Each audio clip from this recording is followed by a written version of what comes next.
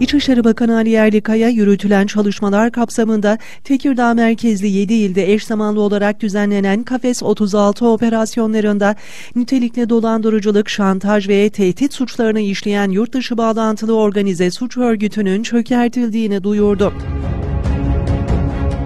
Suç örgütü üyesi şüphelilerin, yabancı uyruklu şahısların kadın profili sahte sosyal medya hesapları üzerinden Türk vatandaşı erkek şahıslarla irtibata geçtikleri, görüntülü konuşmalarda müştekilerin müstehcen görüntülerini kayda aldıkları ve bu görüntüler üzerinden şantaj yaptıkları, belli bir komisyon karşılığında yabancı uyruklu başka şahısları da ülkemize getirip çeşitli bankalardan çok sayıda banka hesabı açtıkları ve şüphelilerin kullanmış oldukları hesapları üzerinden yapılan incelemede yaklaşık yaklaşık 30 milyon lira dolandırıldıkları tespit edildi.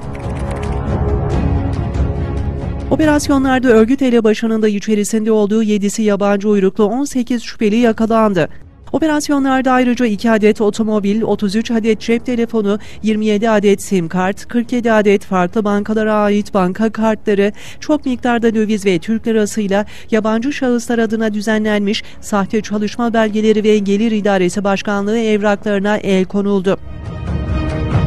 Yerlikaya sosyal medya paylaşımında suç örgütü kurarak halkımızın huzurunu bozanların her an enselerindeyiz. Onlara göz açtırmayacağız. Operasyonları gerçekleştiren polislerimizi tebrik ediyorum. Allah ayaklarına taş değdirmesin. Hiçbiriniz yüce Türk adaletinden kaçamayacaksınız. Şafak sökerken de gün batarken de operasyonlarımız devam edecek ifadelerine yer verdi.